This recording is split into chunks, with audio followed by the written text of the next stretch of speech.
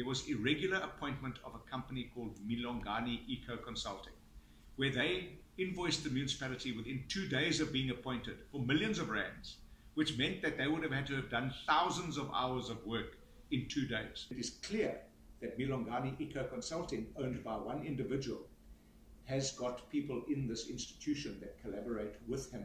The people responsible must be held to account. Yes, there is a politician implicated in here.